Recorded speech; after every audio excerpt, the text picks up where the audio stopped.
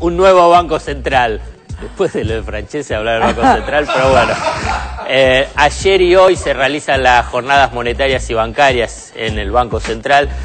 A ver, ¿por qué traigo este tema del Banco Central que parece, uy, como que es muy lejano, es solamente para los técnicos? Porque tenés que saber que el Banco Central históricamente fue un reducto reducido del poder financiero, donde eh, los políticos, o sea, eh, los políticos pensando en el interés general, no tenían acceso. Siempre el Banco Central fue un reducto del poder financiero y por consiguiente en beneficio de los banqueros y en perjuicio de quién?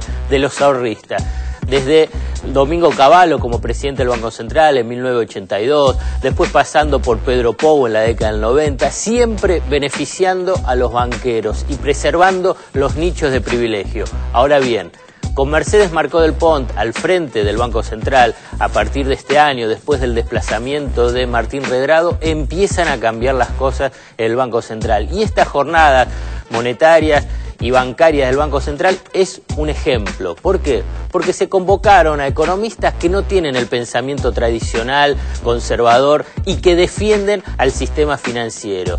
Por consiguiente, uno lo que ve es que están haciendo un nuevo Banco Central. Obviamente que hay que profundizar, hay que avanzar en transformaciones, en cambios en beneficio de los ahorristas. Esto es fundamental. Uno cuando va a los bancos siempre siente que ahí, por cualquier cosa, uno tiene que dejar una comisión por un lado, las tasas son altísimas. Bueno, ahí está el Banco Central y para eso se necesita cambiarlo. Bueno, me parece que esto es un puntapié inicial para empezar a ver otro Banco Central con estas nuevas autoridades.